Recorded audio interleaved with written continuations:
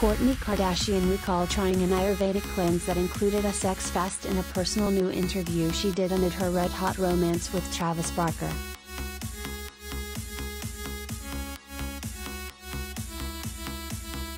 Oh my god, it was crazy, the Poosh founder, 42, said to Bustle in a candid cover story published on Thursday, March 3rd. But it actually made everything better. Like, if you can't have caffeine, when you have your first matcha, it's so good.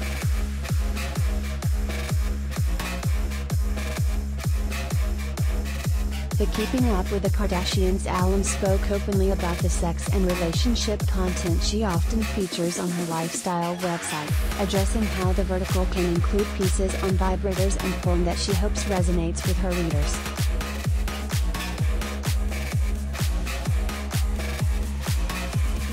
What about people who are just so into each other and don't need any of that? Like, should we write a story on that? Kourtney questioned.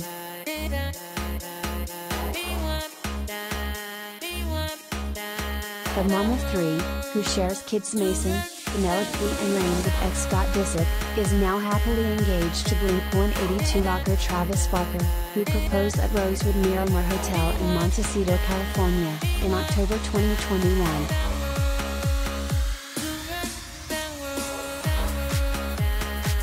Long before going Instagram official and hitting the red carpet together as one of Hollywood's hottest couples, they lived alongside each other as neighbors in Calabasas, California, and were family friends.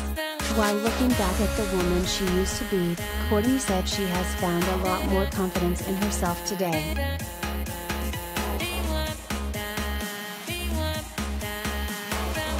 I just used to be really indecisive, the former personality shared in hindsight. I felt like I had to pull a lot of people to help me decide things. I think it was in a time when I maybe felt more insecure or not in the greatest relationships.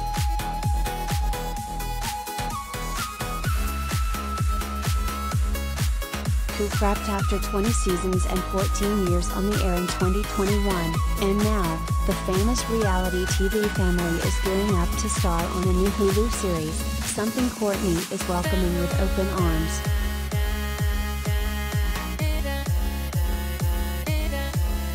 Shooting our show, it became a really toxic environment at the end for me, she explained. I would fight with my sisters. There was, like, just a lot going on and even for me personally, I wasn't in the happiest place.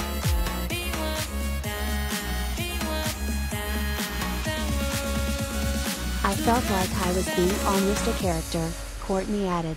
This is Kourtney, and she's in a bad mood, so even though she was laughing really at lunch, we're going to cut out the laughing, and let's only use the annoying comment that she said.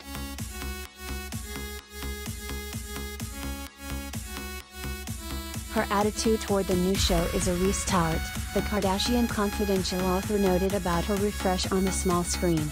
Like, it's a choice, she doubled down against naysayers. Work-wise, I'm happier than I've ever been.